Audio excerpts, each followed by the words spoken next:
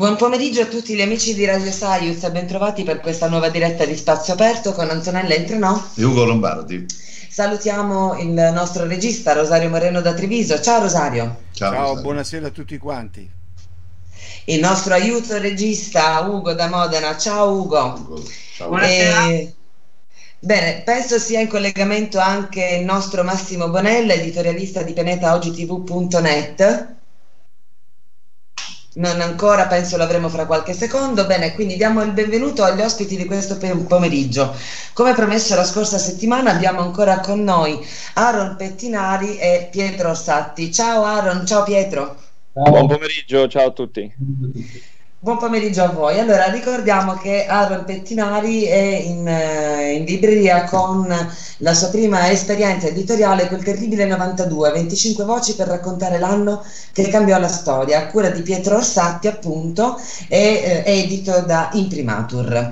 Eh, dunque, Aaron, ehm, in attesa che arrivi Massimo e ci dia gli ultimi aggiornamenti, iniziamo subito da dove ci eravamo lasciati Um, abbiamo parlato della coralità di questo libro e di come la coralità sia importante per sostenere il valore della memoria, soprattutto perché la coralità ci ricorda che facciamo parte di una collettività in un momento come questo dove sembra che l'altro sia solo il nostro nemico. E, um, ci siamo lasciati sfiorando un argomento eh, di estrema attualità. Eh, nelle tante interviste da te riportate, e da te curate Pietro, non si può fare a meno di notare il costante riferimento al ruolo dell'informazione, ruolo rivestito allora e inevitabilmente messo in discussione eh, a tutt'oggi. Un'informazione che fin da allora sembra aver abdicato il suo ruolo, delegandolo alla satira, al teatro, all'arte in genere. Eh, quale responsabilità secondo voi ha avuto l'informazione nel raccontare il 92 e qual è la sua attuale eh, responsabilità di fronte ai fatti eh, più attuali, non posso fare a meno di pensare a Mafia Capitale, sulla quale Pietro mi piacerebbe avere un tuo inciso, visto che hai dedicato un libro all'argomento. Eh, sì, anche per un fatto di età, eh, nel 92 facevo informazione, quindi in quegli anni lì eh, ho iniziato proprio a lavorare, quindi ho un minimo di esperienza di, que- di quella stagione. In realtà all'epoca l'informazione c'era, eh, c'era molta informazione libera, fra l'altro, c'erano molti giornali in cooperativa, c'erano molti giornali che facevano, eh, facevano il proprio lavoro, molti altri che facevano un lavoro un po' esistenziale, ma diciamo che tutta la stampa, in particolare sulla vicenda eh, iniziale del, dell'anno, ovvero stiamo parlando del, eh, di Tangentopoli, di Mani Pulite, eh, fu addirittura ossessivo, fu quasi una sovraesposizione della, eh, di quello che stava avvenendo. Eh, Beh, in effetti ricordiamo tutti la figura di Paolo Brosa che aveva trasferito la sua residenza dinanzi al Palazzo di Giustizia di Milano. Lui era, era, fisico, ma non è che Gianni Barbaretto eh, o Gomez esatto. fossero di meno davanti al tribunale, solo che non erano davanti alle telecamere. Eh, lì la questione è che quella stagione, che forse è stata una stagione eh, fondamentale eh, per, uh, per, il cambiamento, eccetera, è stata raccontata in gran parte da... Uh, cioè la memoria è quasi tutta televisiva.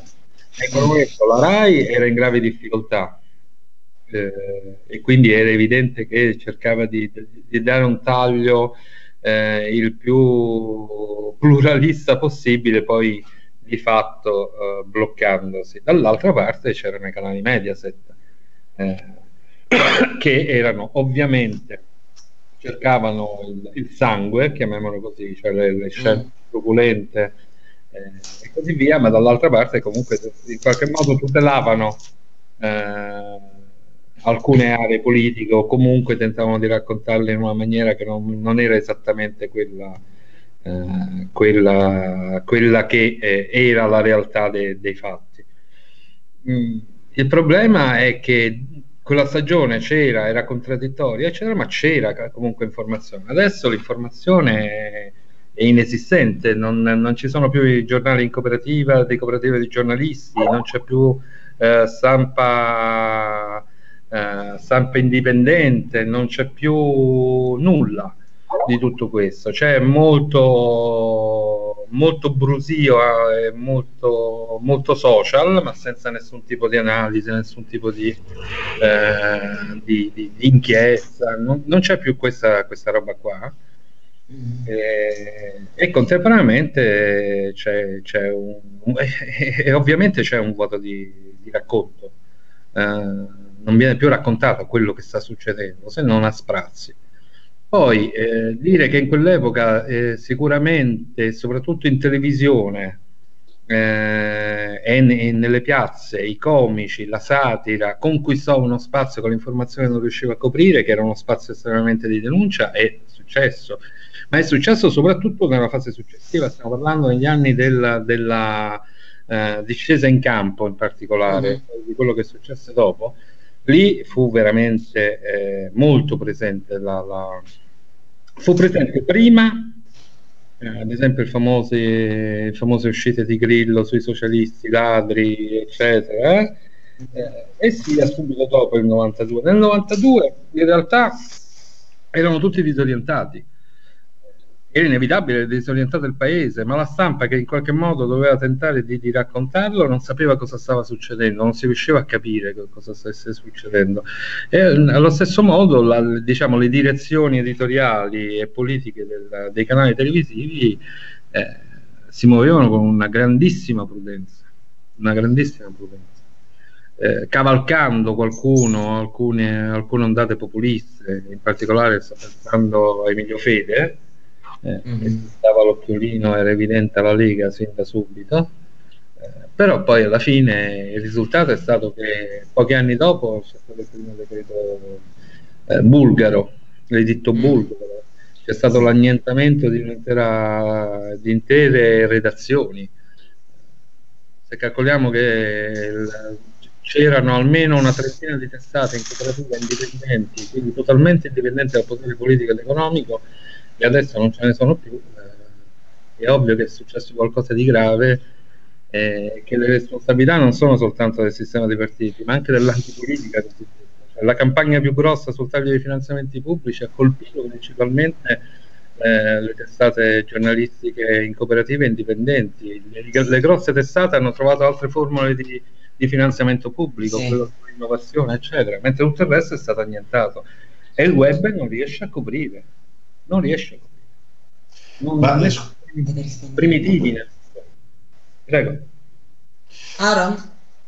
Ma io credo sono sicuramente d'accordo con quello che ha ricordato Pietro. All'epoca ovviamente lui è un testimone oculare di quella che era l'informazione dell'epoca. Io posso aggiungere il fatto che l'informazione al tempo c'era probabilmente anche una sorta di, eh, se vogliamo, eh, ancora una, un interesse rispetto a determinati argomenti, a parte il fatto di, una, di un'informazione che è stata a suo malgrado colpita nel raccontare un qualcosa che in qualche maniera forse si aspettava, tutti quanti sapevano, come hanno detto alcuni dei testimoni, tutti sapevano ma facevano finta di non vedere, penso per in primis Jacopo Fo, che eh, fondamentalmente nello scandalo, gli scandali del 92, lui racconta chiaramente che suo padre, sua madre, i suoi genitori in tv lo dicevano da tempo, raccontavano da tempo determinate dinamiche, ben prima ancora che arrivassero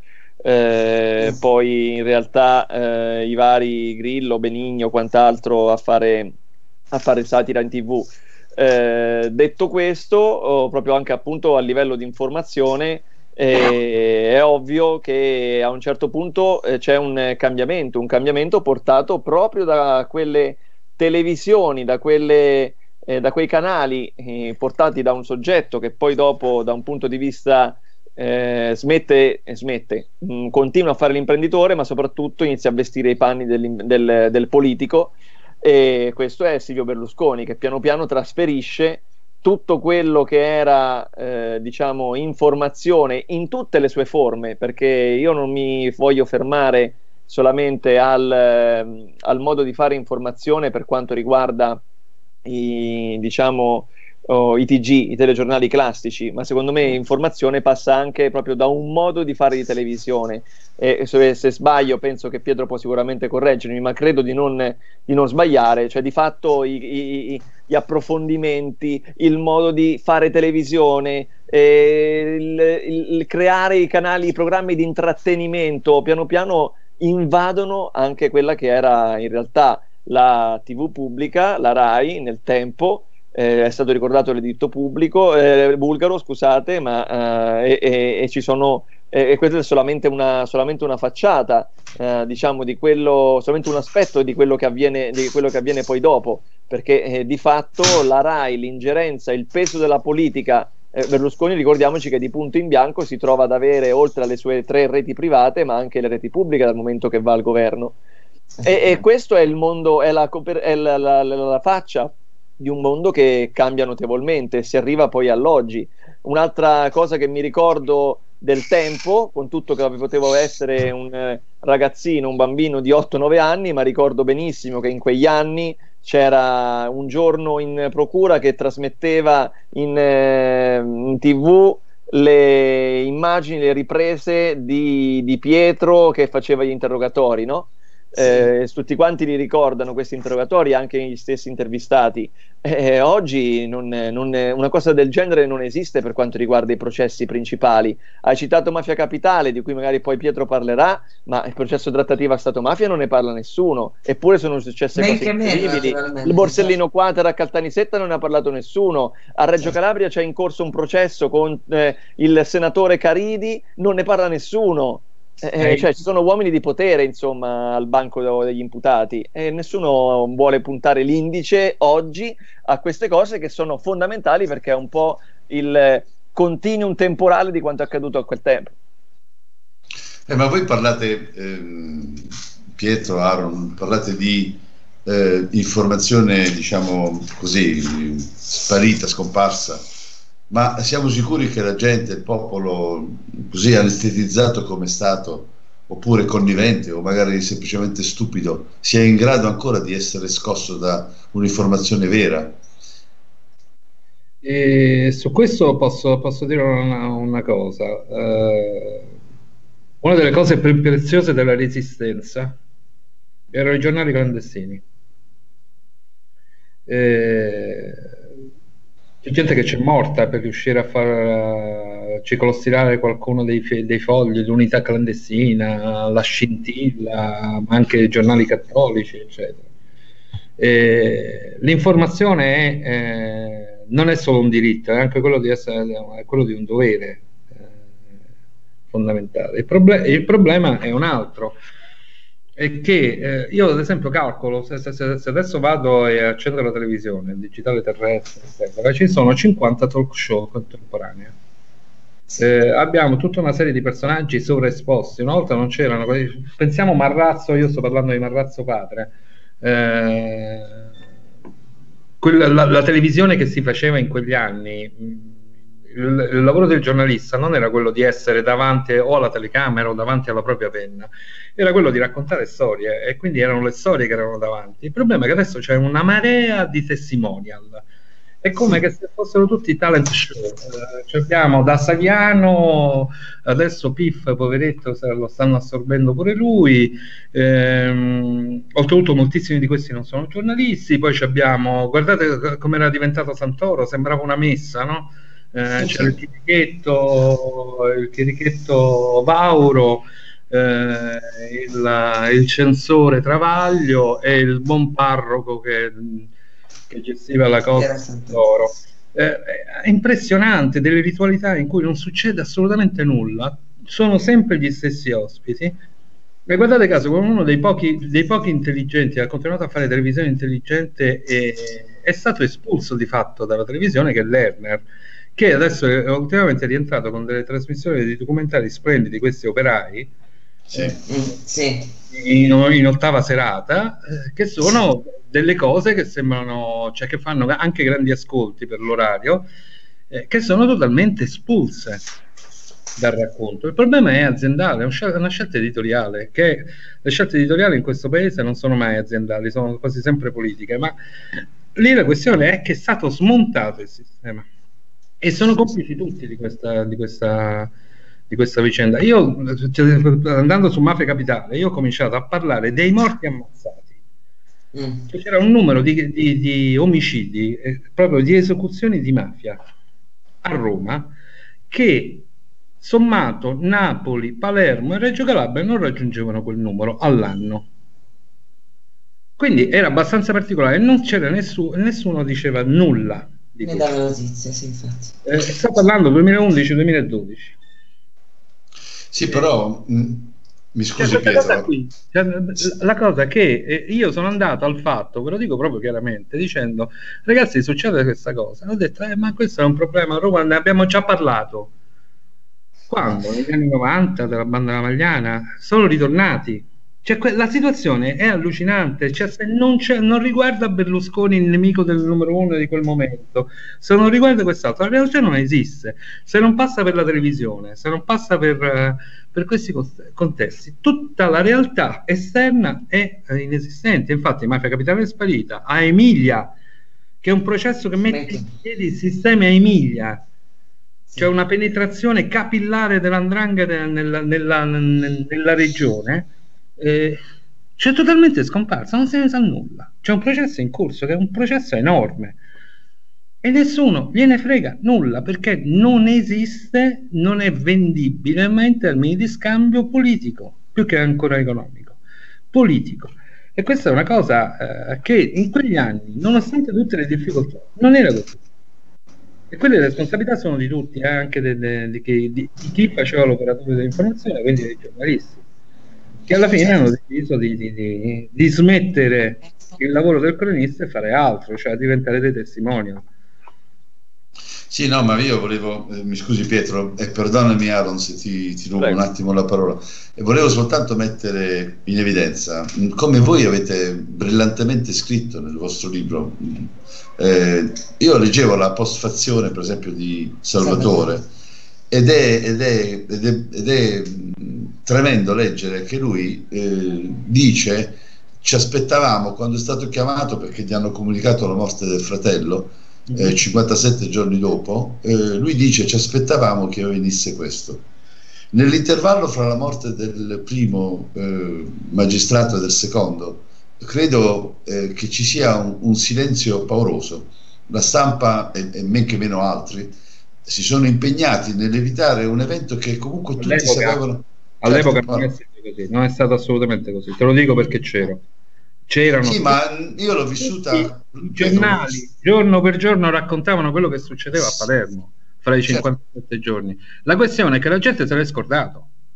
Ma allora, quando voi raccontavate queste cose, la gente come l'ha recepita? Cioè, eh, adesso abbiamo avuto una risposta. Francese, era incazzata nera. Cioè, guarda, eh. stavo parlando, adesso è stato rieletto Orlando. Stavo parlando con uh, un ragazzo dei grillini, eccetera. Ah, adesso Orlando ha fatto. Guarda che Orlando ha ah, lui i rapporti con la mafia. E ha detto: Quali rapporti con la mafia?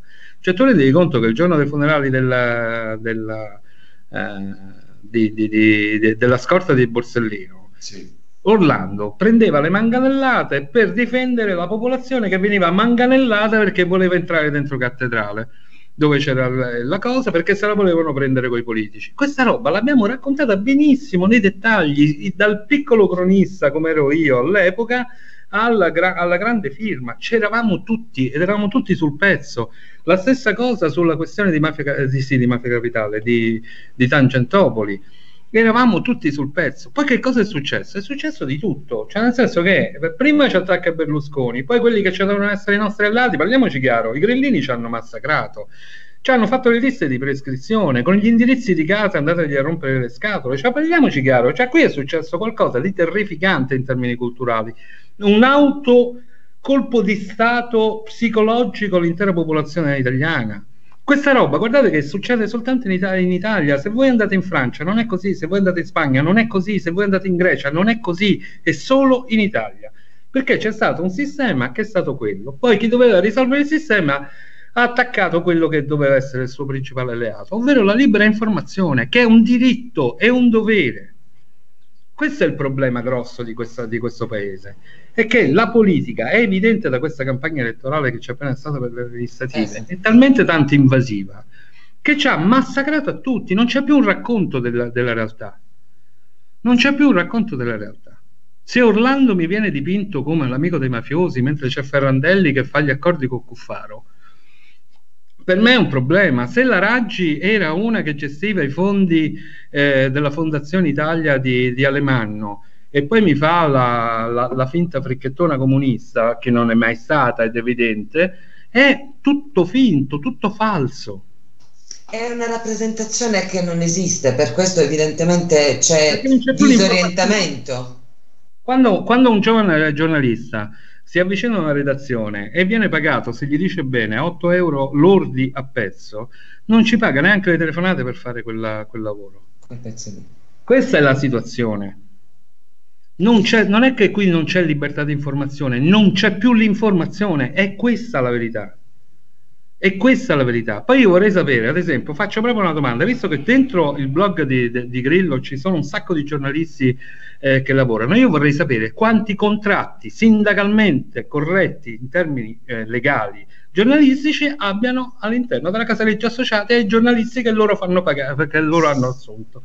Perché questo io vorrei sapere. Perché questa è la situazione. Stiamo parlando di contratti che sono pari a quelli dei metalmeccanici, eh?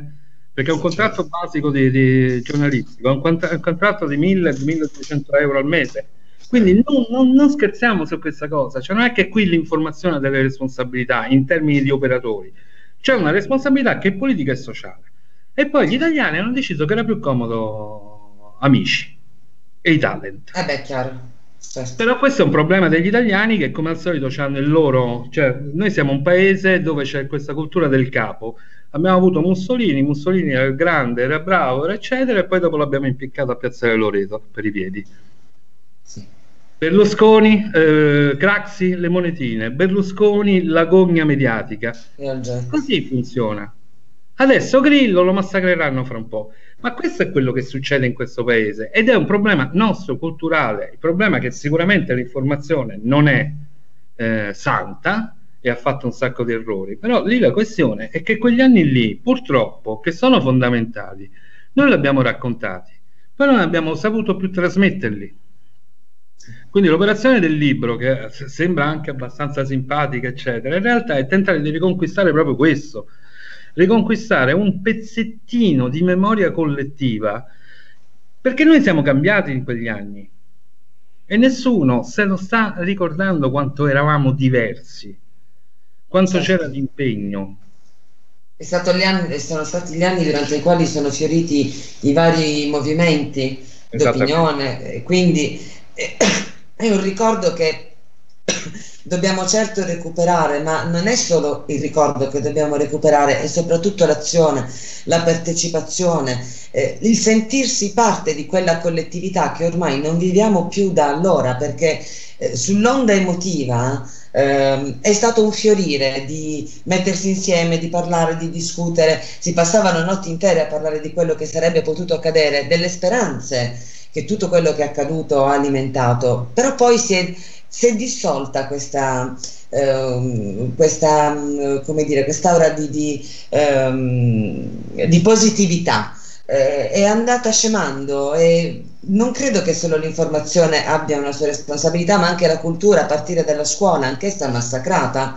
Rendiamoci conto di, che quelli che sono i fatti importanti avvenuti 25 anni fa non vengono insegnati nelle scuole, non vengono contemplati come materia di studio, me, mentre invece sono una parte fondamentale della nostra cultura. Allora, non sarebbe arrivato il momento di ehm, cominciare a ragionare in termini completamente diversi. Il vostro libro, infatti, propone proprio questo, un ragionamento, un approccio al ragionamento diverso, più collettivo, più ampio, fatto sì di ricordo, ma eh, che vuole comunque eh, costruire il presente. Posso, rispondo, posso soltanto dire una cosa? Eh, e poi lascio la, la, la, parola a Aaron che ho, ho sì. occupato troppo spazio. L'unica cosa, cioè, per darti un'idea, no? cioè, io non sì. ti farò il nome della persona, però uno dei, dei, tanti vate di questa grande informazione, sì, facciamo, lotta, eh, quando noi gli abbiamo proposto di fare l'intervista, mm.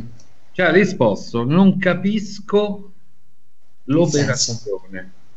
Il senso dell'operazione, perché ci doveva essere per forza un senso dell'operazione in termini politici. Sì. Questa è la risposta che ci è stata data da una persona di cui io eh, non avevo nessuna, nessuna aspettativa, Aaron un pochino di più, però cioè, proprio la, la, delusione di trovarsi, io non ti, non ti farò questo nome perché cioè, le persone si sputtano da sé, non c'è sì, neanche... Infatti, basta aspettare un po'. Però c'è gente che ancora ragiona così ed è gente che, se, che molta, molta popolazione mondiale, in questa mondiale italiana, pensa che sia il grande vate dell'informazione libera. Mm. Sono stato abbastanza chiaro. Eh, io ritengo proprio di sì, ma credo che la situazione sia abbastanza chiara. Ora si tratta solo di decidere di affrontarla. Ormai credo che sia arrivato il momento dell'azione, appunto. La riflessione va bene, ma se alla riflessione non segue un'azione, eh, ci facciamo poco, penso, no? La memoria va benissimo, però poi la memoria deve servire come sprone, come molla, come spinta a pretendere quello che è stato sottratto, un pezzettino alla volta, ma è stato sottratto. Aaron? Io credo, vabbè, innanzitutto per quanto riguarda il discorso eh, informazione sulle responsabilità che, che, ha l'informazione, sicuramente c'è una responsabilità politica, sicuramente c'è una responsabilità, eh, mi viene a dire, imprenditoriale e quindi anche politica, perché eh, chiaramente ehm, diciamo che il potere, tra virgolette, se ammesso che potere hanno eh, dei giornalisti è mm, veramente a ribasso in base a quelle che sono diciamo le condizioni contrattuali l'ha spiegato benissimo eh, Petrorsatti eh, per quanto riguarda il discorso dell'8 eh, euro lorde eh, io mm. sono stato anche sindacalista per quanto riguarda eh, il sindacato qui nelle Marche e qui abbiamo casi anche di prezzi anche molto più molto meno rispetto a quegli 8 euro l'ora cioè per fare un esempio una semplice fotografia pubblicata su un pezzo è, eh, viene pagata 2 euro l'ora eh, 2 euro lorde scusate e, eh, pensate, pensate un po' a quello che significa insomma quante fotografie bisognerà mettere insieme per arrivare a uno stipendio adeguato eh, per quanto riguarda i, collabor- i contratti di collaborazione. Diciamo che fare questo mestiere oggi è più una passione che non un, eh, che non un eh, guadagno, a meno che non si ha la fortuna di essere eh, diciamo amico di qualche ricco imprenditore o ricco politico e allora vedrai che gli stipendi, gli lauti stipendi saranno veramente eh, alti e adeguati, però con la differenza che tu a qualcuno dovrai sempre dire babbo, quindi ecco, ecco che l'imprenditoria, la, la, la libertà di informazione scema sempre di più e, e, però do anche una responsabilità ai giornalisti stessi, proprio perché oggi c'è una sorta di auto, c'è sempre più autocensura. Eh, in parte li capisco anche perché oggi affrontare appunto l'universo ci sono querele, querele temerarie, libertà di, di, informazione si misura anche da queste cose qui. Eh, è chiaro che bisognerebbe riacquisire un po' di quella eh, libertà che tra l'altro è sancita dalla nostra Costituzione e per primi a far valere questa libertà dovrebbero essere proprio i cittadini che dovrebbero far valere il proprio diritto di essere informati. Io ho un altro ricordo per fare un esempio, in passato è stata fatta una raccolta firme eh, da più soggetti eh, non solo con l'appoggio di figure come Grillo, ma c'erano Grillo, i, entrambi i fratelli Guzzanti, Giulietto Chiesa, Travaglio, eccetera, eccetera, eccetera. La lista era veramente lunga. Era qualche anno fa e si cercava di togliere eh, l'ingerenza della politica, eh, l'ingerenza politica dalla RAI. E quella proposta di legge popolare che raccolse tutte quante le firme eh, che quindi doveva essere discussa in Parlamento, ha fatto la fine di... è finita in un cassetto e non è stata mai discussa in tutti quanti questi anni. Ecco, quindi quando poi quei cittadini che non hanno fatto valere, hanno, avevano dichiarato la loro posizione, ma poi dopo non, più, non ci si è più interessati di che fine avesse fatto quella proposta di legge, ecco che appunto si spiega la condizione in cui siamo oggi, un po' tutti, appunto si preferisce amici e si, preferi- si preferisce eh, X Factor al mondo? Eh? Si preferiscono i pacchi o si preferiscono eh, i giochi a premi? Eh, diciamo che la situazione generale, culturale e sociale non è bella e non, non aiuta certamente in, in, questo senso. Detto questo, l'operazione che appunto si è voluta fare con questo libro, Pietro l'ha detto molto bene, abbiamo cercato di raccontare quell'anno per riappropriarci dei ricordi di quell'anno e la necessità è quella che certe cose non si ricapire perché sono avvenute e far sì che non si ripetano più. Questo è il, il, quadro che bisogna fare. Un tema che hai toccato tu, Antonella, è quello del, della, dell'informazione a scuola. Eh, eh, scuola e informazione vanno avanti di pari passo. Purtroppo sì. hanno cercato di azzerare in questi anni, ci sono assolutamente riusciti, il ruolo dell'informazione e così come sono riusciti ad azzerare il ruolo della scuola. Oggi a me solamente il fatto che il preside il cosiddetto preside si chiama dirigente scolastico, non più preside, quindi in azienda, hanno fatto l'azienda l'hanno creata pure all'interno delle scuole, mi fa, mi fa venire i brividi.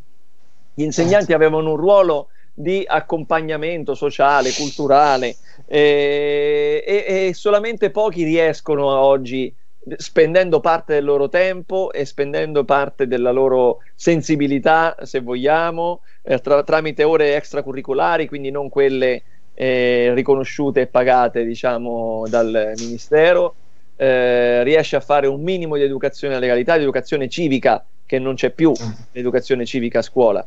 E, e queste, se, se, noi come cittadini non, non chiediamo di nuovo e non, non ci riappropriamo di queste cose, penso che insomma non abbiamo imparato nulla e quindi le situazioni potrebbero continuamente, continuamente peggiorare. Ma eh, spero che questo libro possa contribuire anche a questo, perché ci sono riflessioni importanti anche su questi temi. Io posso dire una cosa, eh, la faccio dire a Stefano Vigilante, che, che è uno degli autori eh, delle grandi interviste, perché eh, Stefano che è un comico, mm. eh, è un comico anche pigro perché non si è mai spostato dal suo quartiere che è Pocello a Roma, eh, sì. ha scritto forse, ha, ha, detto una delle cose forse più poetiche, più vere e anche più tremende che escono da questo libro. Eh, vi leggo questo, questo paragrafo. Le stragi le ho vissute con la stessa angoscia con cui qualche anno prima c'erano state le bombe e le pistolettate nei quartieri del Pignete di Centocelle, tra fascisti mm. e comunisti. Così quando vedi l'immagine di Capace provai la stessa angoscia e l'agitazione che subivi quando andavi a scuola e non potevi entrare perché era stato gambizzato qualcuno. Non riuscivo a leggere bene quel momento. Un'altra cosa che mi ha sempre colpito è quel clima che c'era attorno. Si diceva sempre di questo non ne parliamo. E quel non ne parliamo è stata la bomba più grande di Capaci.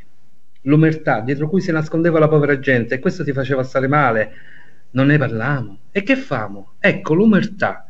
C'era anche un'altra cosa che mi colpiva. I commentatori dei TG avevano tutti questa voce sessualmente provata un rallenti inquietante in una sorta di racconto che non voleva appar- apparentemente trasmettere emozione, ma che in realtà già essa stessa trasferiva un'emozione nel vano tentativo di avere tutto sotto controllo o quasi.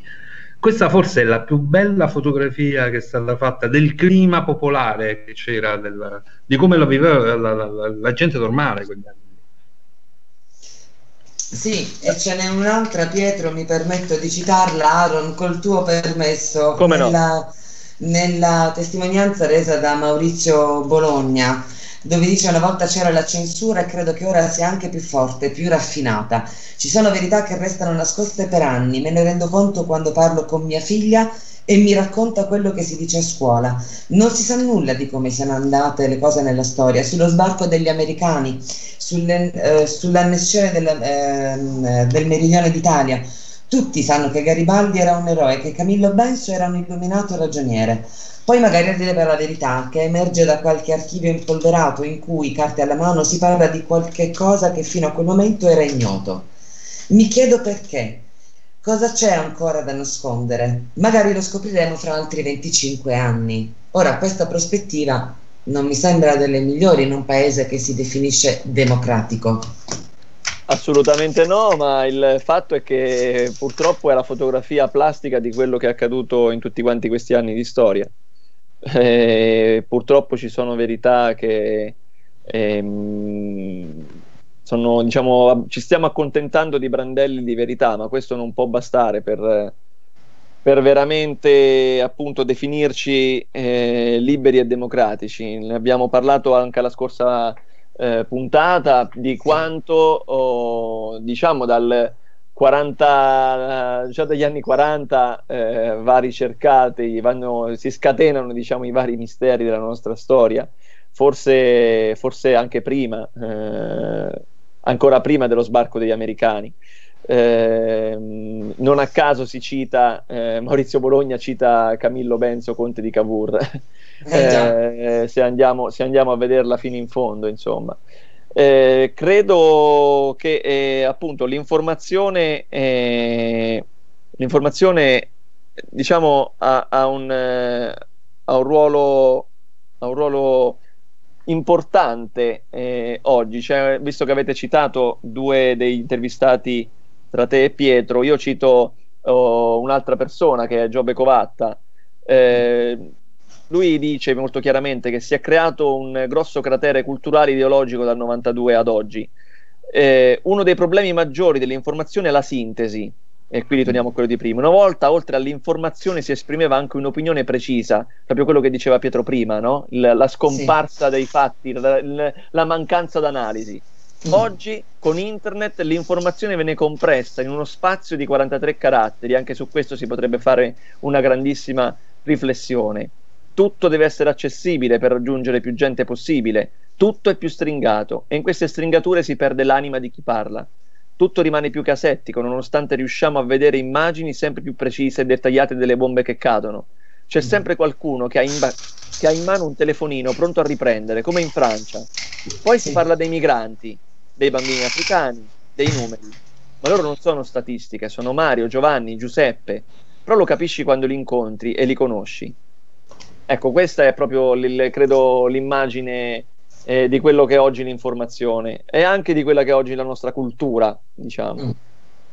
Sì, però Aaron, eh, giusto per riprendere il discorso che facevamo prima con Pietro, eh, a cui va dato naturalmente la massima stima per il lavoro eccellente che, che è stato fatto e d'altra parte anche nel suo libro, insomma, si può benissimo riscontrare. Però la domanda che ci facciamo... Il bandito della guerra fredda, mi permette di ricordare. Ecco, la domanda che ci facciamo è come mai eh, un evento come quello attuale che stiamo vivendo tutti in prima persona, cioè quello che coinvolge eh, magistrati coraggiosi, integerrimi, attentissimi, eh, che qualcuno vuole ammazzare, ha creato le, le le, le, civiche, le, le, guardie civiche, insomma ha creato civiche. Le scorte civiche, movimenti di opinione, ha creato un sacco di gente fra noi che insomma è, si, è, si, è, messa accanto a questi coraggiosi. Mentre allora, allora sono bastati 57 giorni, nonostante l'impegno dei vari giornalisti come Pietro, come, come altri come lui, non è successo nulla. Avevamo bisogno di altri ammazzamenti o è la tecnologia di internet che ci ha coinvolti di più? Ma io credo, io credo, che mh, è vero che Paolo Borsellino. Allora, Paolo Borsellino probabilmente prima, prima della morte di Giovanni Falcone lo conoscevano in pochi. Sì. Paolo Borsellino è arrivato, eh, diciamo, a essere una figura nota dopo, perché tutti sapevano che Mm, lui sarebbe stato l'erede morale in qualche maniera, ma c'era stato anche il ministro Scotti che di fatto lo aveva nominato alla Procura Nazionale Antimafia, suo malgrado, senza neanche interpellarlo.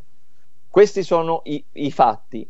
Mi chiedo io quanti in Italia sapessero bene, e chiaramente mh, mm, erano distanti da, da, Paolo Borsellino. Giovanni Falcone l'avevano visto già negli anni prima, anche perché Giovanni Falcone era quello più, eh, che più frequentava, più esposto, ma frequentava anche i salotti della televisione, poi ci furono anche le mm. polemiche. Molti mm. che erano vicini a Giovanni Falcone a un certo punto hanno lasciato anche dal punto di vista dell'informazione da solo Giovanni Falcone, perché mm. pensavano che avesse tradito la fiducia eh, che gli era stata data andando a accettare un ruolo in politica al Ministero della Giustizia, all'Ufficio Affari Penali. Questa è la, la, la situazione. È vero che eh, va ricordato che comunque con le stragi si erano creati movimenti dei lenzuoli, i movimenti eh, al tempo stesso eh, popolari, così come oggi magari ci sono le, le, le, che c'è la, c'è la scorta civica. Eh, che comunque ha, ha permesso, eh, questo va dato atto insieme a Salvatore Borsellino e le Agende Rosse, anche quell'azione diciamo di attenzione ha permesso in qualche maniera a, eh, che, che, al procuratore, eh, sostituto procuratore di Palermo, oggi sostituto procuratore alla Procura Nazionale Antimafia, proprio da oggi, e io approfitto per fargli in bocca al lupo, eh, Antonino Di Matteo avesse riconosciuto eh, il sistema di sicurezza Bomb Jammer dopo tutto quello che è avvenuto nei suoi riguardi, l'arrivo di 150 kg di tritolo, le minacce di Rina e quant'altro. Eh, però eh, in realtà la grande assente è sempre quella, non sono i cittadini, gli assenti non sono i cittadini. Pietro ha detto mm. bene, i cittadini erano incazzati neri, usando eh un francesismo.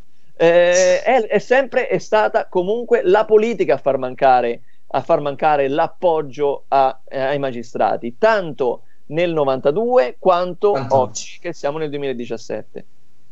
Infatti non credo che la situazione di oggi sia molto diversa da allora in questo senso Senz'altro c'è una maggiore consapevolezza, una maggiore eh, partecipazione, tanto che eh, insomma, quotidiane sono le attestazioni eh, di stima, di presenza, soprattutto nei confronti eh, di Nino Di Matteo. Ma divagando un attimo, ehm, ma non troppo se vogliamo, eh, tu Pietro accennavi poc'anzi all'ultima tornata et- elettorale amministrativa. Eh, I dati che ne sono emersi sono abbastanza mh, mm, eh, così meritevoli di riflessione, ritengo, anche se le amministrative non sono le elezioni nazionali per cui eh, le politiche per cui vanno sempre viste in un'ottica eh, differente, ma i segnali giunti eh, sono quelli che conosciamo, cioè un avanzamento del centrodestra, una, una vittoria se credo si possa dire abbastanza indiscutibile del partito eh, del popolo degli astensionisti, ehm, una sinistra che pare ne venga fuori con le ossa eh, abbastanza, abbastanza rotte, infatti lo stesso Renzi è stato molto molto prudente nelle dichiarazioni successive agli esiti. La vostra opinione rispetto a questa tornata elettorale qual è? Qual è il segnale che giunge dai territori alla politica? io vado, eh, ritorno su un francesismo, significa che gli italiani non sono completamente rincoglioniti perché... Esattamente. cioè, questa è la, la cosa. Perché, si saranno anche un po' rotti le mani, diciamo. Eh, il segnale più evidente è eh, va bene il populismo, però adesso ti metto un attimo da parte. Eh. E, e visto anche che non sei in grado, ed è evidente eh, che non sei in grado di gestire eh, come partito, cioè come, come, organizzazione, e sto parlando in particolare dei 5 Stelle, cioè l'unico che, che, che, che, sta, infatti ha avuto successo anche in termini elettorali è Pizzarotti che è stato espulso eh, la, dai 5 Stelle, quindi c'è questo, questa, questa, percezione in cui abbiamo mandato il messaggio, ti abbiamo utilizzato, noi italiani ti abbiamo utilizzato per mandare il messaggio ai partiti. Mm. Il centrodestra tiene, ma sono in realtà tiene bene, eh, ma in realtà solo quando non, non, vanno alla conflittualità sulla leadership. Quindi Salvini ha tenuto un profilo basso e, e quindi è andata benissimo. La questione è che ovviamente Renzi non può festeggiare per il semplice fatto che la scissione pesa e che se lui va a elezioni senza fare l'alleanza con quelli che ha buttato fuori dal PD, lui perde e questa è l'evidenza della, dell'operazione. Lì la questione è tutta lì, cioè nel senso che stiamo ritornando alla Margherita e al PDS o IDS. Questo è quello che sta avvenendo. C'era questa illusione col mega partitone di diventare super maggioritari, non è così, non funziona così e la, la sinistra deve ritrovare un'anima che, non ha, che finora non, non riesce neanche a capire qual è. Cioè, oltretutto è in gravissima difficoltà, il PD è in gravissima difficoltà, e la cultura della, della sinistra in, non riesce più a leggere la realtà, parliamoci chiaramente, si è ubriacata perfino per lo, la globalizzazione per poi scoprire che poi forse non era così bella come pensavano, mm. sto pensando a Bersani mm. in particolare, però lì la situazione abbastanza inquietante. Certo che poi ci sono delle risposte in cui gli italiani hanno dato delle grandi lezioni. Eh, devo dire che la maturità della, degli italiani è, è, è, molto maggiore di quanto si, si potesse aspettare dalle scorse elezioni, cioè quelle della, dell'anno scorso. Eh, Diciamo che secondo me si sono anche spaventati. Cioè, gli italiani si sono spaventati sia della, della vicenda Roma, sia e l'avevano capito che sarebbe successo qualcosa anche delle ultime cose di Torino. Eh, e lì cioè, la gente poi quando, quando, si parla del comune, quando si parla delle cose pratiche, eccetera, ritorna razionale. Della quotidianità, perché poi la gestione del territorio è tutt'altra cosa. Esattamente, e lì la questione è che fino a quando si fanno chiacchiere, si fanno chiacchiere. Sì. Eh, uno può lavorare con gli slogan, ma poi quando devi, devi mettere in piedi gli autobus, i servizi, l'assistenza, eccetera. Eh, poi la risposta della Raggi è stata veramente, per me, è stata veramente eh, prevedibile, cioè che avrebbe fatto l'occhiolino alla destra tirando fuori la cosa migranti e Rom subito dopo, allora cacciamo i migranti di Rom per sì. vedere di recuperare lì, ma cioè veramente, cioè, ormai questi non, non, non navigano a vista, cioè magari mm. stanno sbattendo contro i muri di un labirinto dove si sono infilati loro. Eh, non, non, non, vedo via d'uscita da questa situazione. Certo, cioè, certo è un fatto che tutto quello che poteva essere il conflitto negli anni della crisi e quindi che poteva essere positivo, cioè conflitto in termini di far emergere positivamente le cose, loro l'hanno anestetizzato trasferendolo tutto sul blog. E questa è una cosa che io trovo criminale. Aaron? Ma io non eh, credo che diciamo, l'analisi più chiara sia chiaramente il fatto che eh, hanno vinto tutti, non ha vinto nessuno. Cioè, se vai a guardarla fino in fondo nell'ottica, nell'ottica nazionale. Eh, forse ha vinto solo Orlando che eh, al quinto anno, per la quinta volta sarà sindaco a Palermo. Eh, a, parte, a, parte, le battute, eh, credo che Mm, in questo caso ci sia stata una sorta di corsa a perdere. Io sinceramente ho condiviso molto, eh, non so, cioè, ci sono stati degli errori clamorosi da parte, da parte, dei, da parte dei 5 Stelle, da parte di Renzi. Se dovessi fare a ognuno, no? mi, metto, mi metto nei panni di ogni, di, ogni, di ogni partito e faccio un'analisi di quello che è accaduto.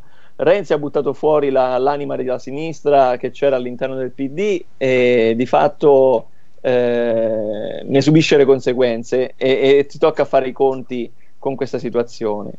Eh, I 5 Stelle pure hanno fatto una serie di mosse e alcune da citate eh, giustamente Pietro, eh, la prima cosa è quella di Pizzarotti che era l'unico, l'unico pri- è stato il primo grillino che era andato a governare una delle città più grandi. Ed era, e l'ha governata eh, bene, tra l'altro, eh, mettendo, anche pratica, mettendo, anche in pratica, diciamo, i dettami che comunque erano diciamo, le linee guida principali del partito, eh, poi dopo ce ne sono entrate altre, quindi è stato buttato fuori, però un, eh, questo sicuramente è stato un autorete.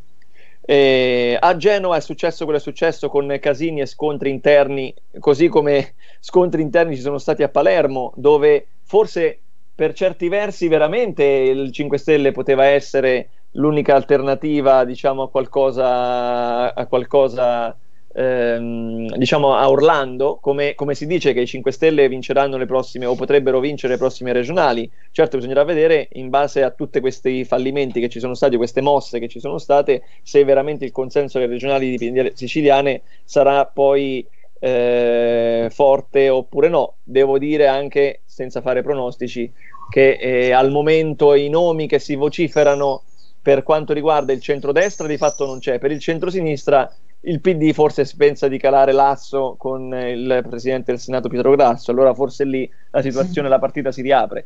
Eh, Taranto, eh, che poteva essere eh, il, il, diciamo, il, l'ideale per poter, per poter vincere eh, con il governo che aveva annunciato il salvataggio dell'Ilva con 6.000 esuberi e quant'altro. Eh, era praticamente impossibile mancare il ballottaggio, così non è stato. Eh, eh con il solito ballottaggio destra-sinistra praticamente. Eh, lo stesso, c'è, c'è, di fatto c'è questo scaricare sulle liste civiche che sono comunque parte loro, dal loro punto di vista del, del, del loro elettorato a livello nazionale. Io non so se è veramente così, io credo che ognuno qui deve, fare i, deve farsi due conti e deve iniziare a pensare soprattutto ai programmi, perché i cittadini non possono essere presi in giro. Eh, bisogna iniziare già ora a dire quali sono, quali sono le, le, squadre eventuali di governo, bisogna dire quali sono i piani e i progetti per eh, il nostro governo, per il nostro Stato, per i cittadini, per i lavoratori, bisogna tornare a parlare di quelle cose che sono concrete per quanto riguarda eh, il tessuto sociale, culturale, economico e, e, e quant'altro, perché queste sono le cose che interessano eh, poi veramente. Invece qui per ora c'è questa area attendista e si va a guardare ai modelli tedeschi, non tedeschi e quant'altro, eccetera. Eh, si continua a fare un, un gioco eh, che, che, che, non si comprende. Ancora abbiamo i diktat eh, su quello che si deve o non si deve fare da parte di Giorgio Napolitano. Cioè, questa è la situazione che noi abbiamo oggi nel, nel, nostro, nel nostro paese. Poi dopo, vabbè, bisognerà vedere perché io sono sempre, non è che voglio fare il pessimista, ma credo che qualsiasi sia il governo che va a, che andrà a vincere le prossime elezioni, dovrà sempre e comunque fare dei conti con logiche di politica internazionale. E queste sono cose che, tra l'altro, proprio il libro di, di Pietro, il mio ne accenna, ma il libro di Pietro ne parla in maniera puntuale e precisa, con tanti documenti alla mano. Ma infatti quanta politica possono esprimere questi partiti, al di là diciamo, delle, diciamo, delle, vicende collegate alle eh, diciamo, elezioni e votazioni amministrative, ma quanta politica possono esprimere con i condizionamenti della comunità europea che sono sempre più pressanti.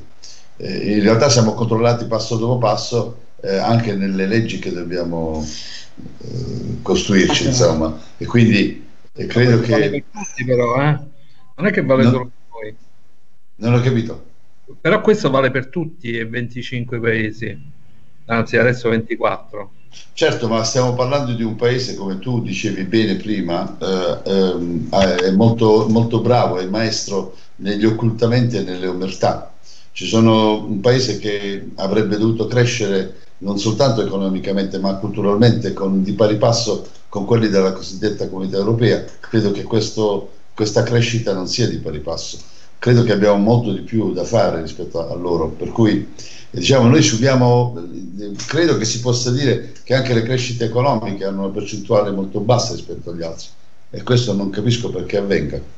Guarda, tornando proprio al libro di Aaron, perché abbiamo, a un certo punto ne parliamo di, di, di Europa. dell'Europa. Eh, Esattamente. E, e abbiamo uh, preso uh, come ultima intervista, prima della postfazione di, Ehm, di Salvatore Borsellino.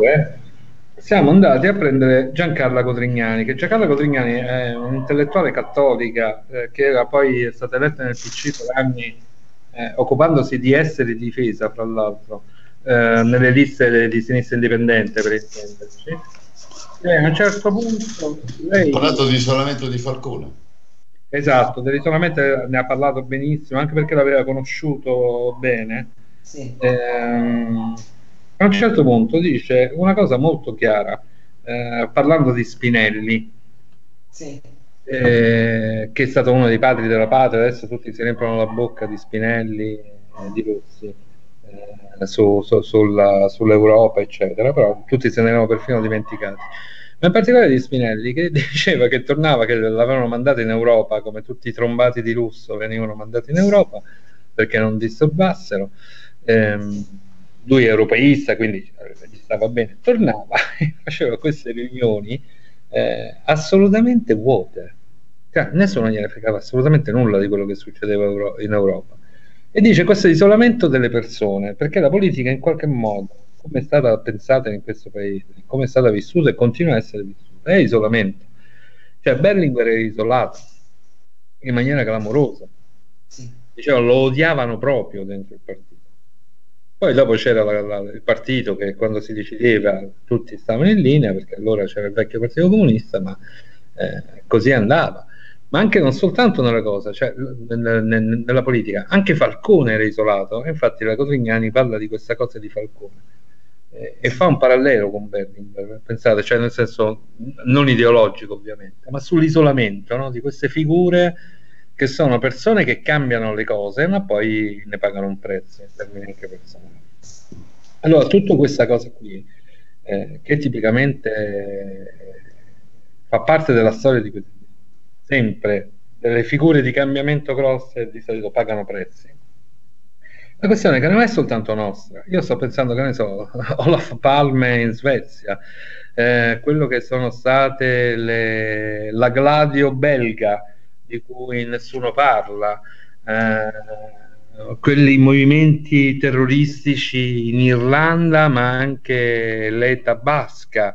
Eh, tutta questa roba qui non è che ha attraversato soltanto il nostro paese, noi in più abbiamo sicuramente un aggravante che è quello di avere una delle più grosse mafie del mondo, eh, delle organizzazioni più grandi e più forti in termini culturali, ma perché poi l'abbiamo alimentata, perché avendocela l'abbiamo usata eh, in termini di potere, di gestione del potere. Lì la questione è che come ne usciamo, come dici tu, eh, non ne usciamo facile, ma certo non ne usciamo andando fuori dall'Europa.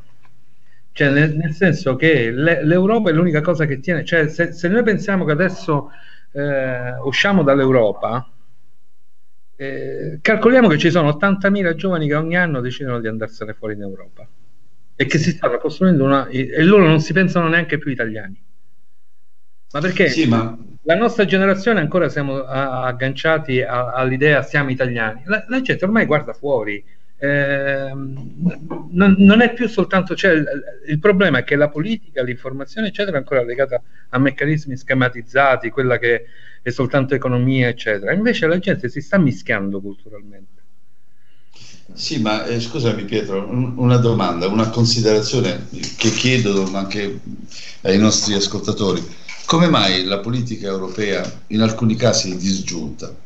Il nostro paese è stato ed è tuttora il paese che accoglie tutti i profughi, però al confine abbiamo la chiusura dei passaggi verso i paesi europei, i cosiddetti paesi più civili del nostro.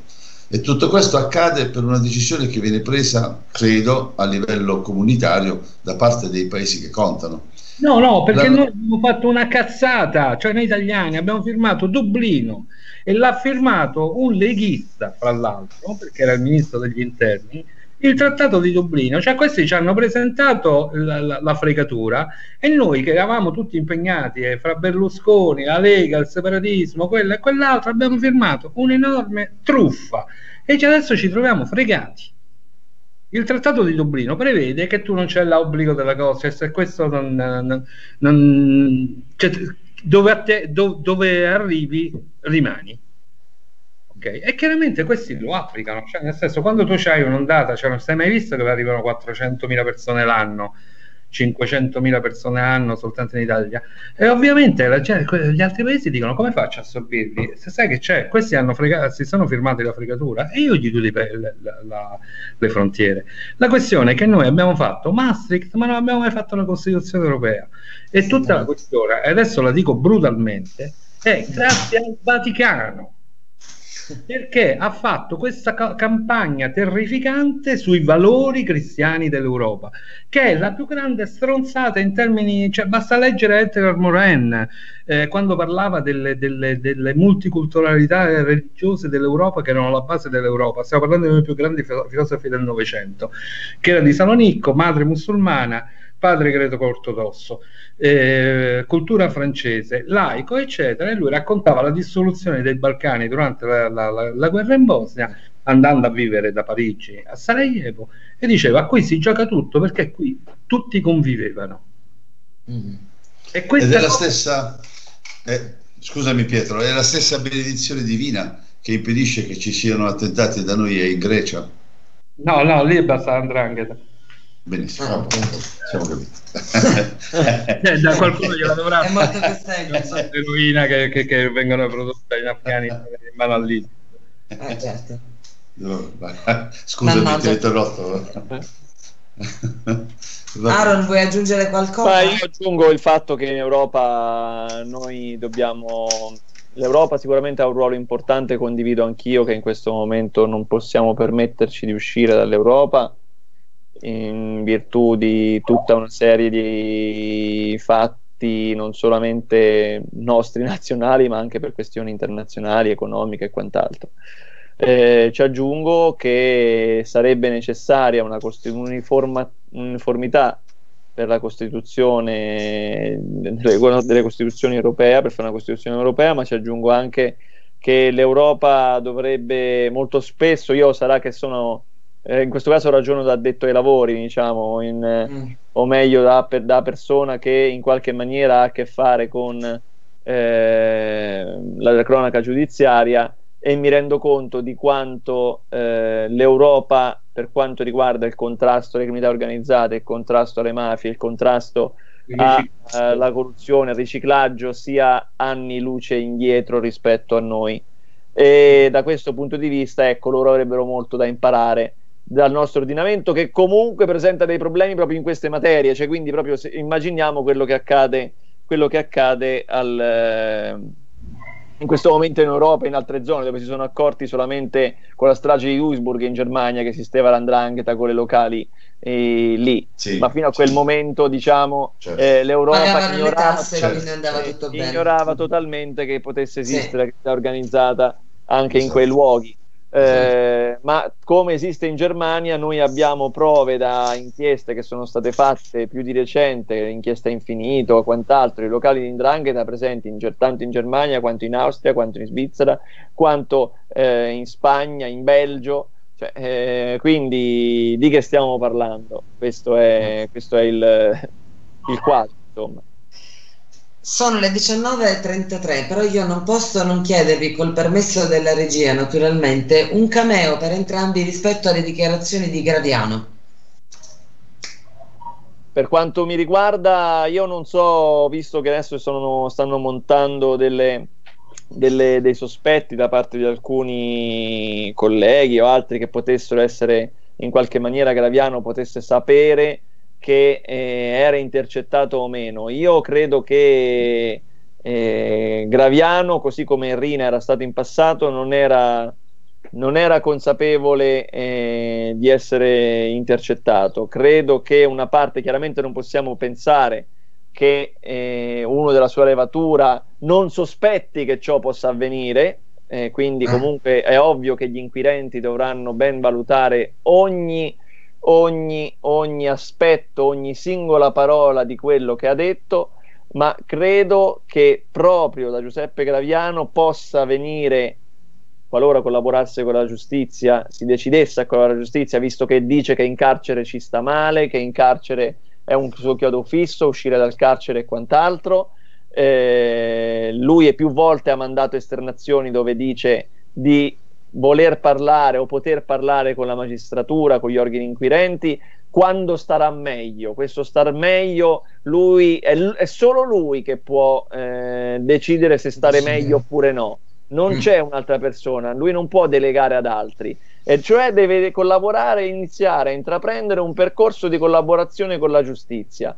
Queste intercettazioni sicuramente sono utili, interessanti, saranno oggetto di indagine approfondita da parte della Procura di Palermo, di Caltanissetta e di Firenze, possono aprire degli squarci importanti, importanti su sì. anni che sono ancora oggi bui e che non sono vecchie storie come un eh, ex presidente del Consiglio, tra l'altro citato da Graviano, mm. spesso eh, eh, diceva, e questo Presidente del Consiglio è Silvio Berlusconi.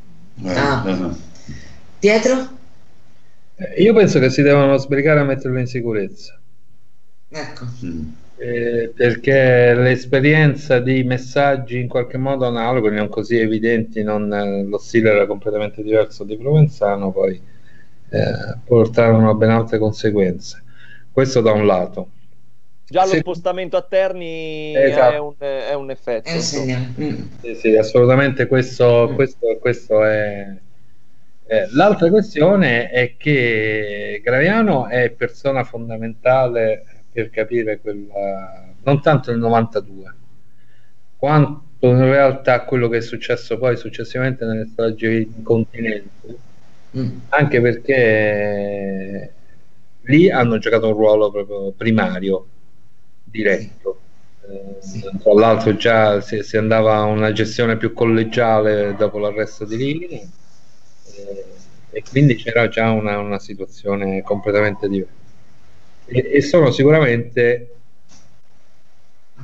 i Graviano, eh, personaggi estremamente abili nella gestione. Io penso semplicemente all'autorizzazione a parlare che da, danno in qualche modo a Spatuzza. Sì. A questo punto sembrava quasi che Spatuzza fosse il portavoce di Graviano e non si facessero avanti. C'è stato un momento all'inizio delle sue dichiarazioni, il famoso contratto e con, confronto fra Filippo Graviano e, e Spatuzza, in cui nonostante le accuse di Spatuzza, il boss dice io non so eh, se tu stai dicendo il vero, ma chi sono io per dire questo? E poi grandi espressioni di affetto, eccetera, che fa, fa un pentito è un boss di mafia, di solito non, so, non succede questo. Infatti, diciamo di no. Già questo, eh, infatti, infatti. Va bene. Sono dei segnali, però insomma, cioè, la famiglia Graviano sicuramente è fondamentale. Certo. Seguiremo la faccenda, lo faremo anche con eh, la nostra trasmissione Osservatorio Antimafia che questa sera alle 22 eh, vuole proporre a tutti gli ascoltatori di Radio Saiuz la conferenza Aaron che si è tenuta sabato 20 maggio eh, presso la facoltà di giurisprudenza all'Università di Palermo, ehm, co- eh, conferenza tra l'altro durante la quale tu sei stato eh, moderatore ed erano presenti intitolata Seguite i soldi eh, troverete la mafia, dalle parole di Falcone ad oggi, cosa è cambiato 25 anni dopo la strage di Capaci. E sono intervenuti in qualità di relatori Roberto Scarpinato, Sebastiano Ardita, Gianni Dragoni e Giorgio Bongiovanni, direttore appunto di antimafia2000.com. Tu sei stato il moderatore e ci sono stati anche i saluti di eh, Brizio Montinari, quindi ehm, le dichiarazioni di tutti i relatori sono state estremamente importanti. Eh, mi permetto Aaron, salvo che tu voglia correggermi, di sottolineare sottolineare quella di Scapinato che ha fatto una eh, lucidissima rappresentazione del sistema economico, finanziario, eh, mafioso, di quanto sia appunto cambiato e di quale fosse l'importanza dell'intuizione avuta da eh, Giovanni Falcone 25 anni fa. Quindi io invito tutti i nostri ascoltatori a seguire eh, questo speciale che eh, questa sera Osservatorio Antimafia eh, dedicherà. Ringrazio eh, voi naturalmente, ricordo il libro di Aaron Pettinari, quel terribile 92, 25 voci per cambiare l'anno per raccontare l'anno, scusate, che cambiò la storia, a cura di Pietro Orsatti, edito da Imprimatur. E ricordiamo anche il tuo libro, Pietro, al quale abbiamo fatto un breve riferimento quest'oggi, certo. di cui abbiamo parlato qualche settimana fa, no? Il bandito ah. della guerra fredda, anche questo edito da Imprimatur. Sì, è uscito a fine marzo, stiamo, stiamo continuando la promozione in questo periodo, sulla vicenda della costruzione degli apparati e della, della prima strage modello delle stragi successive in questo paese. E ci riferiamo a quella di Portella della Ginestra. Eh, Esattamente, bene, io do eh, la linea alla nostra regia per i saluti al network, visto che eh, li abbiamo purtroppo saltati in apertura di trasmissione e poi eh, passiamo ai saluti finali. Prego Rosario. Bene che mi hai chiamato in causa, il, salutiamo il network, saluti i tuoi ospiti, diamo l'appuntamento alle 22, ricordando che questa trasmissione è andata in diretta come tutte le nostre trasmissioni live su uh, tutte le web radio del network che sono Radio Favaro Veneto, Radio Reno Web, Radio Sismondi Libri eh, Modena Noi Radio, Radio Is e Radio Valdichiana. Ovviamente siamo andati in onda anche sulla web tv, sulla nostra pagina su Facebook, eh, sul sito radiosites.it, sul live stream e su Dailymotion.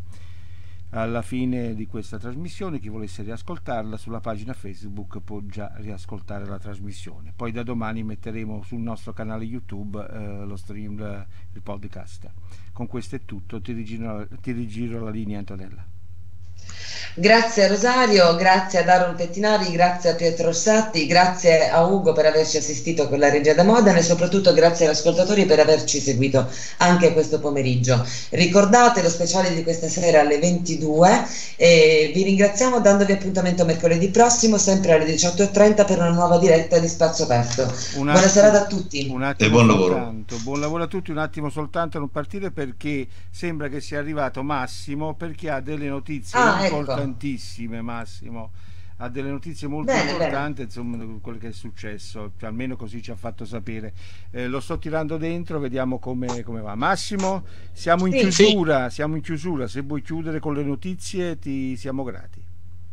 Eh, sì, no, purtroppo eh, qui eh, non potevo essere eh, eh, presente adesso perché c'è una situazione veramente eh, di un forte maltempo. Io vi do le ultime notizie, dunque sono le seguenti. Volevo darvele in apertura poi ho sentito che siete partiti con la trasmissione, allora ho detto, beh, intanto raccogliamo qualcosa anche dal Comitato Ragazzi dell'Inter Veneziano, perché l'ondata di maltempo, diciamo così, si è abbattuta in, nel veneziano, ma non solo, anche nella marca trevigiana. Quindi io qui ho delle immagini, ad esempio, eh, della, della, di Treviso Centro, e praticamente proprio vicino dove c'è la radio madre, Radio Sirius, credo che da te mh, ci siano stati anche eh, dei allagamenti. Io qui vedo eh, da queste immagini eh, addirittura eh, un albero che ha eh, chiuso eh, la strada, praticamente il put dove si arriva a, alla stazione ferroviaria, siamo in prossimità della stazione ferroviaria di Treviso, ma andiamo per ordine. iniziamo dunque con con il, con il eh, veneziano praticamente eh, ci sono stati eh, forti, forti raffiche di vento, eh, pioggia tipo, eh, per capirci, una bomba d'acqua, eh, rallentamenti anche con il servizio pubblico locale, ci sono stati quindi dei disagi, traffico in tilt, eh, dunque il sottoscritto ha fatto proprio le corse per arrivare qui in postazione da dove trasmettiamo qui da Pianeta Oggi TV, radio, circuito Radio Science, quindi siamo nel veneziano allora dicevo, eh, da, vediamo di andare per ordine. Venezia, da Venezia Today, vediamo cosa eh, riporta questa testata. Dunque, vento e pioggia battente sul veneziano, alberi a terra, decine di chiamate ai pompieri. Nel pomeriggio è arrivata quindi l'ondata di maltempo che era stata annunciata e ha coinvolto laguna e terraferma. Gli interventi sono stati fatti soprattutto a Lido e a Mestre. Eh, e pioggia battente erano stati annunciati comunque dalla protezione civile e puntualmente sono arrivati eh, sia in laguna che in terraferma i vigili del fuoco. Verso le ore 17 sono stati raggiunti da alcune decine di telefonate più che altro per segnalare la presenza di rami per strada. Vediamo di continuare a vedere un attimo e fare una sintesi sulla testata Venezia Today. Eh, dunque prosegue qui c'è anche, c'è anche per chi volesse eh, vederli può entrare in un secondo momento su veneziatoday.it ci sono anche dei video video.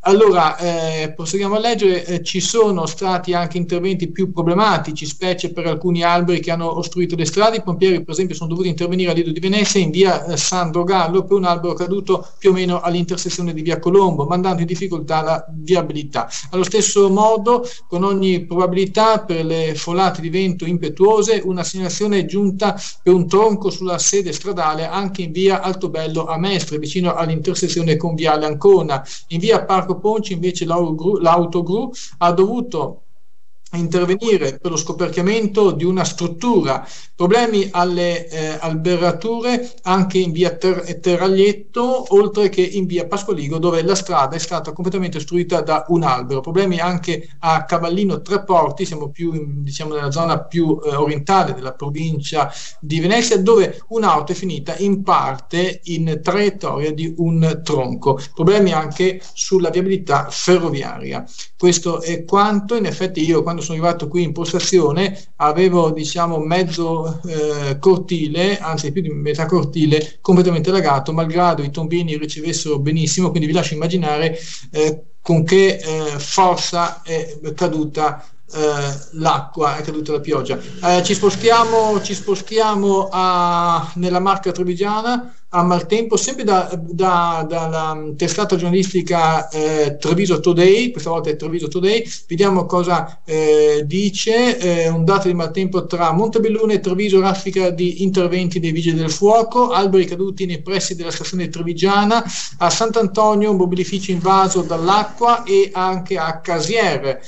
A Biadene un vero e proprio nubifragio, tromba d'aria registrata tra Casale e Monastiere, disagi anche ad Altivole e Asolo. Ecco, io ricordo ai nostri ascoltatori, quando ci sono queste ondate di maltempo così violente, e ultimamente è sempre così, poi scende, no, perché dopo non è finita, poi arriva l'aria fredda, l'aria gelida, quindi un, un, un, dire, un colpo di un, un, un, colpo di temperature a ribasso notevole. Ecco, quando ci sono questi eh, fenomeni così violenti, mh, mm, c'è veramente da stare eh, molto attenti perché se all'improvviso eh, si forma una tromba d'aria, vi lascio immaginare oltre i danni anche il pericolo per le persone.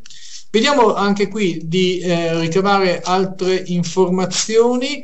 Eh, dunque, a Treviso, vento forte e pioggia, ondata di maltempo in queste ore sulla Marca con decine di interventi da parte dei vigili del fuoco per allagamenti e alberi caduti. Alcune piante sono finite sulla strada a Treviso nei pressi della eh, stazione ferroviaria e a Casier eh, sono registrati due alberi eh, caduti. Poi ancora avanti a Sant'Antonio un mobilificio è stato invaso dall'acqua fuoriuscita dai tombini. A Montebluna si è scatenato un vero e proprio nubifragio, soprattutto a Biadene.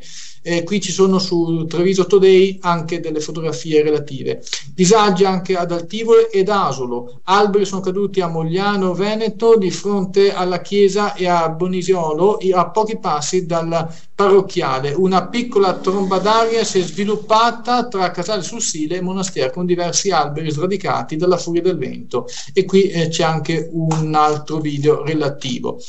Ecco, io direi eh, alle 19.47 di chiudere qui questa finestra sulla improvvisa e forte ondata di maltempo che si è, battuto, che si è battuta eh, in Veneto. Io ricordo le province più colpite sono state quella di Venezia, inclusa anche la laguna Lido di Venezia e la provincia eh, di eh, Treviso. Attualmente io ho anche qui la finestra aperta, vedo che mh, piove, ma non in maniera, diciamo, preoccupante, eh, diciamo che sembra più che altro un cielo autunnale, quindi il peggio è passato. Alle 19.48 direi di chiudere qui questo aggiornamento delle notizie e restituisco la linea alla regia centrale.